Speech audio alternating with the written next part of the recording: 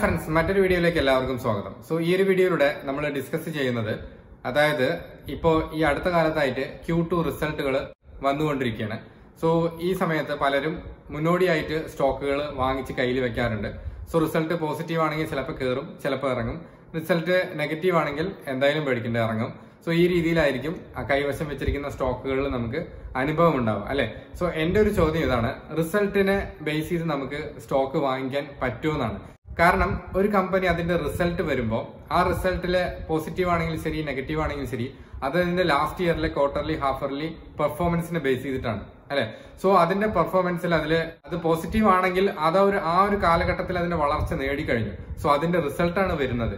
So അതിനെ depend ചെയ്തിട്ട് നമ്മൾ ഇപ്പോൾ കറന്റ് സിറ്റുവേഷനിൽ ആ സ്റ്റോക്ക് വാങ്ങിക്കുന്നതിൽ എന്തെങ്കിലും കാര്യമുണ്ടോ എന്ന് എനിക്ക് അറിയില്ല അത് ചിലപ്പോൾ എന്റെ അറിയില്ലായ്മയായിരിക്കാം എന്തായാലും നിങ്ങൾ ജസ്റ്റ് അറിയുന്നവരാണെങ്കിൽ കമന്റ് ചെയ്യാം. ഞാൻ ജസ്റ്റ് പറഞ്ഞു എന്ന് മാത്രം. ഓക്കെ കാരണം പലപ്പോഴായിട്ട് നല്ല റിസൾട്ട് ആയിരിക്കും പോസിറ്റീവ് റിസൾട്ട് ആണ് എങ്കിൽ കൂടെ ആ സ്റ്റോക്ക് ഇറങ്ങിയിട്ടുണ്ട്. മേ ബി ചില സ്റ്റോക്കിൽ കയറി പോകുന്നുണ്ട്. അതിന് കാരണം ചിലപ്പോൾ ആളുകളെല്ലാം ഇത്തരത്തിൽ ആ ഒരു സ്റ്റോക്കിന് ഉയരാൻ സാധ്യതയുണ്ട്. റിസൾട്ട് പോസിറ്റീവ് ആയിരിക്കുന്നത് കരുതി പലരും ആ ഒരു സമയത്ത് വാങ്ങിക്കൂട്ടുമ്പോൾ ഓട്ടോമാറ്റിക്കലായിട്ട് ഈ സ്റ്റോക്കിന്റെ നിലവാരം ഉയരും. അത്തരത്തിൽ മേ ബി ഉയർന്നേക്കാം. അത് അറിയില്ല. ജസ്റ്റ് അറിയുന്നവരാണെങ്കിൽ കമന്റ് ചെയ്യാൻ ഞാൻ റിപ്പീറ്റ് ചെയ്യുന്നു. പിന്നെ ഒരു കമ്പനി മറ്റൊരു കമ്പനി ഏറ്റെടുക്കുമ്പോൾ അതായത് ഒരു ലയനം ഉണ്ടാവുമ്പോൾ എന്തായാലും അതിൽ അതിലെന്തായാലും സ്റ്റോക്കുകൾ ഉയരാറുണ്ട്. കാരണം ഞാനത് പല സമയത്തായിട്ട് നോട്ട് ചെയ്തിട്ടുണ്ട്. അത്തരത്തിലുള്ള സിറ്റുവേഷനിൽ സ്റ്റോക്ക് മുകളിലേക്ക് ഉയർന്നു പോകാനാണ് സാധ്യത. ഇത്തരത്തിൽ റിസൾട്ട് വരുമ്പോൾ അത് എത്രത്തോളം ഓക്കെ ആണെന്നുള്ള കാര്യം നമ്മളൊന്നുകൂടെ വിലയിരുത്തണം. സോ ജസ്റ്റ് ഒന്ന് പറഞ്ഞു എന്ന് മാത്രം. കാരണം അടുത്ത ദിവസങ്ങളിലായിട്ട് നിറയെ കമ്പനികളുടെ റിസൾട്ട് വന്നുകൊണ്ടിരിക്കുകയാണ്.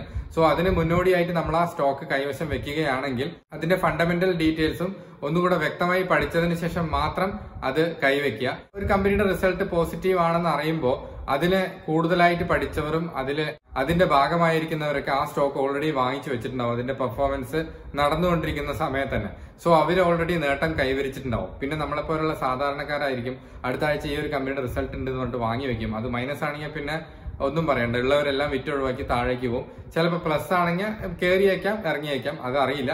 അത് എന്തിനെ ഡിപ്പെൻഡ് ചെയ്തിട്ടാണെന്ന് അറിയില്ല. നമ്മളെപ്പോലുള്ള ബയേഴ്സ് പൊക്കി കൊണ്ടുപോകണമെന്ന് അറിയില്ല.